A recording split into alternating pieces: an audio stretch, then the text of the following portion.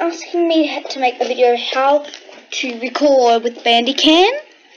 So today I'm going to show you. So if you've got the free version that I've got, you will click this button, this Bandicam button, down the bottom or wherever it will be.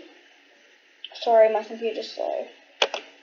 And then, hey, you see this? If you click this button here, you've got thing and you can make it like how many how much you want the screen to be big and mine is on full screen so I can record any of the screen and when you want to you can click record if you if you want to take a picture you go image capture and if you want to record it on star stable you must click this game button here and then minimize it and same with this one do not press X it will go out of it you must press minimize and then you click the doors and then when you go into it you will see a little button up here that will say it will say two numbers in green and if it goes red it means you're recording.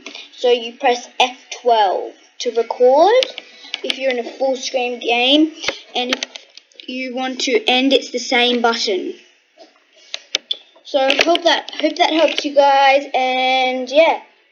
Bye.